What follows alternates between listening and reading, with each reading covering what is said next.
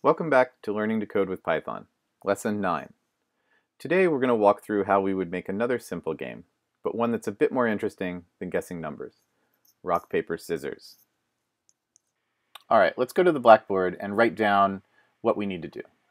Well, we have two players, right? We have the human and we have the computer. So what are the steps of the game? Well, first, we can ask the player to choose a move. Okay? And then what I'm going to do is I'm going to define the moves to be rock, paper, scissors. So we'll just use RP and S. That way the player doesn't have to type out the word scissors when they make their move. Okay, next we can get the computer's move.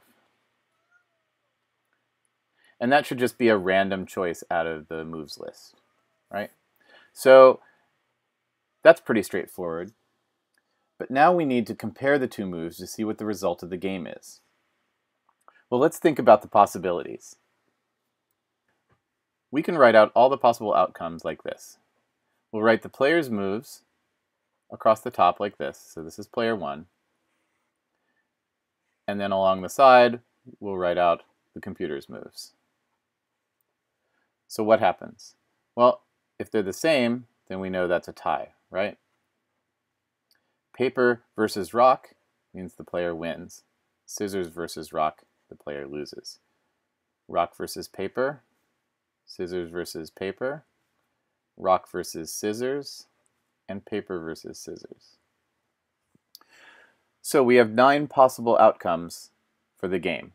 Three wins, three losses, and three ties. So for the third step in our game, where we compare the moves, we have a similar situation to our number guessing game, where we had three possible outcomes. You guessed too high, you guessed too low, or you guessed right. So let's tell the computer what it needs to do to compare. Well, first, let's do the easiest one. Tie. Was it a tie? Well, we can just check and see, did the player pick the same one as the computer? And for step two, let's find out, did, we, did the player win? Well, how are we going to tell that? Well, the player won if it was one of these combinations. So we can say the player wins if it's one of these choices. P versus R, S versus P, or R versus S, right? Because we're just writing player 1 first and player 2 second. And if it wasn't one of those, and it wasn't a tie, then the only thing left is they lost. So let's write some code. Okay, so first let's go ahead and import random. Because we're going to want the computer to be able to make a random move, so we'll need that. And then let's go ahead and define those moves that we talked about. So the moves that you can make are either R, P, or S. And while we're defining lists, why don't we make a list out of these player wins?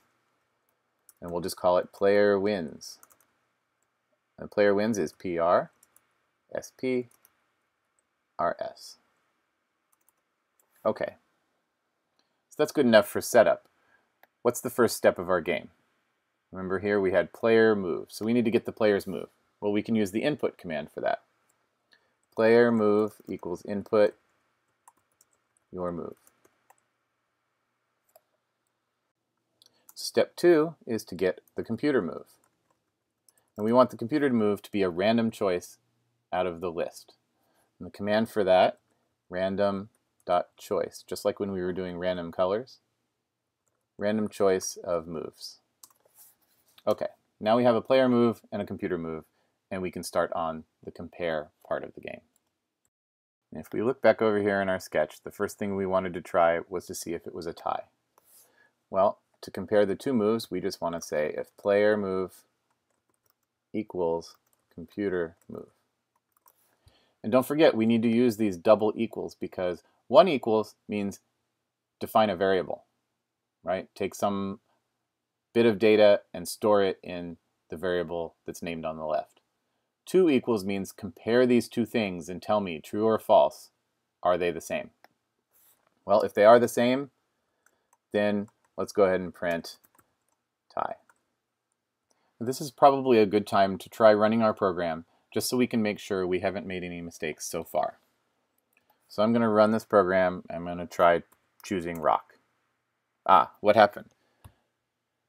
Well, obviously we didn't get a tie because it didn't print out tie. But we don't know what happened. So we've kind of spotted a problem in our program. We left out a step.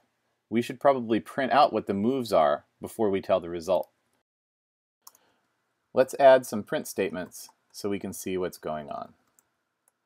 So we'll say the player move, and we'll say the computer move. And the computer can call itself me since it's the one that's doing the talking. Let's try that and see how that looks. So I'll pick R. Okay, so it wasn't a tie, but at least we know the computer picked scissors this time. We want to check the second option. Did the player win? So we want to know, did we get one of these combinations? So over here, I'm just going to show you a little example. Remember, if we picked R and the computer picked S, then adding two strings together just gives you a string where they're stuck together. So we should just add the player move to the computer move so that we get a single string and then we can check and see if it's one of these. So let's say player move plus computer move. Now, how do we tell if it's one of these? Well, Python has a handy little command called in. So if we say, player wins. So if we say, add these two together and tell me if it's in this list. So in this example, if we chose R and the computer chose S, then R plus S is RS. And is RS in this list? Well, yes it is. So it should print you win. And last but not least, if it wasn't a tie and it wasn't a win, then we can just print out you lose. Or we could say I win, but either way. You can even, if you want, make the computer a little mean and have it say things like, you lose sucker, things like that. I'll leave that up to you. Let's just go ahead and make sure that our program is working. All right, I'm to pick scissors for a change this time. Ah, we tied. Now we're done. Program ended, right? So if we want to play again, we actually have to run it again. Ah, I keep getting ties. Let's try again. Wow, three ties in a row. What are the odds?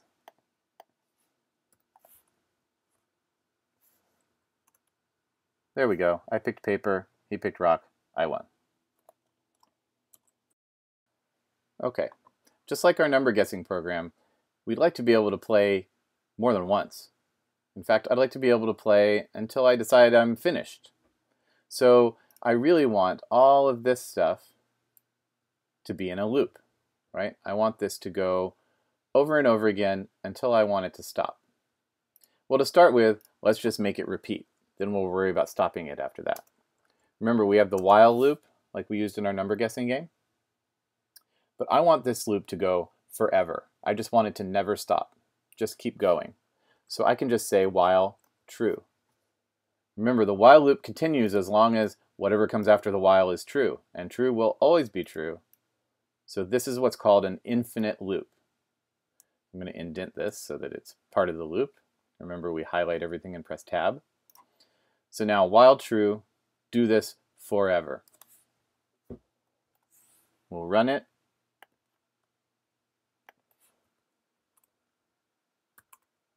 Now we can play over and over again.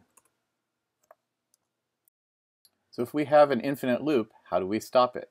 Well, let's give the player a way to quit. Let's add after player move here that if the player move, if they choose Q for quit, then that's when we want this while loop to stop. But we can use a new command for that. We can say break. Break is a special Python command that says whatever loop you're inside of, end it. No matter what else is going on, just stop the loop. So Q will let us play as long as we want until we type it, and then it will stop the loop. Let's see how that looks. All right, I'm going to pick rock a bunch of times, and then when I decided I'm done, I pick Q, and the program ends. Now there are a few more things we could add to this program, but I'm going to leave that for you to figure out. One is we could add a score, just like we did in our number guessing game, right? But this time you need two variables because you need a score for the player and you need a score for the computer. And make sure you start them out at zero and you're going to give them a point at the appropriate spot. So when the player wins, you should, right after you say you win, you should add a point to the player's score.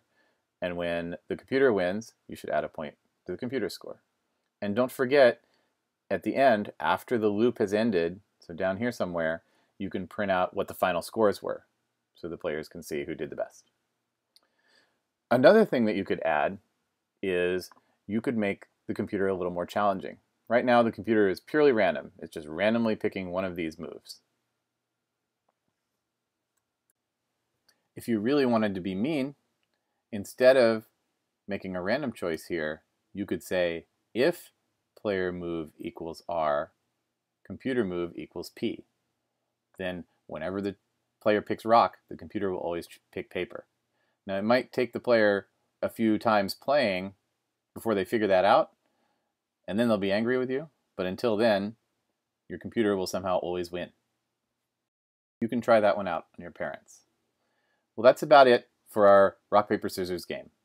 Thanks for watching, and I'll see you next time.